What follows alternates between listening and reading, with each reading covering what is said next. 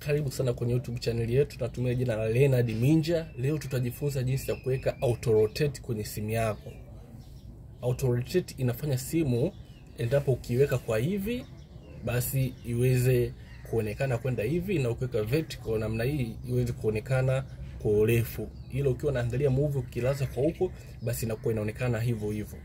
Moja kwa moja tunaingia kwenye setting yetu ya simu. Baada ya hapo unashuka chini unaingia kwenye display baada ya hapo chini kabisa utaona sehemu pameandikwa auto rotate.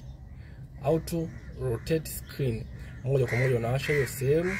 Sasa hapa endapo ukilaza simu basi moja kwa moja na simu yenyewe itajilaza. Mfano hapa tukisema tuweke hivi basi na simu itabadilika.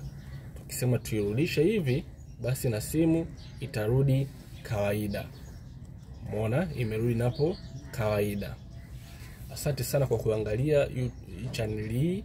Naitwa Leonard Minja na mitandao ya kijamii kote. Natumia jina la Leonard Minja. Karibu sana. Video nyingi nzuri zinakuja. Usiache kusubscribe hapo chini. Asante sana